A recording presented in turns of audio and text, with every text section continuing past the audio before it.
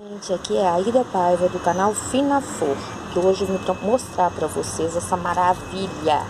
É uma trepadeira mexicana né, no tom rosa. Na verdade, nós temos ela em outros tons. Nós temos um rosa mais escuro e branquinha, tá?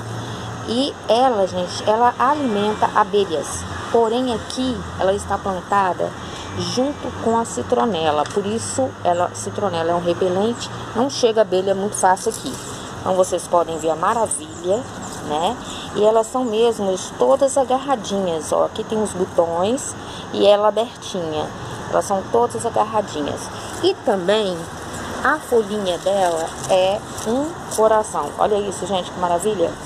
A folha é um coração né? Então eu vou mostrar para vocês, ela é muito encontrada aqui no Brasil também, apesar dela ser, né, de ela ser nativa é do México, mas ela é muito encontrada aqui nesses tons. Ela é uma planta ornamental e ela gosta do pleno sol. E fica linda, gente, porque ela agarra nas plantas. Aqui, ó, na citronela, vou mostrar pra vocês.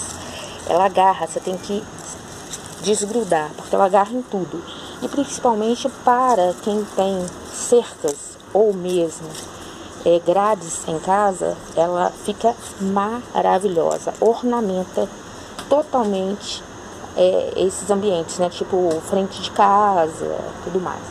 Vou mostrar para vocês que aqui ela vai subindo, vai subindo, vai subindo e chega lá em cima. Olha isso, gente, que maravilha! Então essa é a verdadeira agarradinha. Até mais. Curte o canal. Inscreva-se no canal para você ter sempre novidades, ok? Tchau, tchau. Até o próximo vídeo.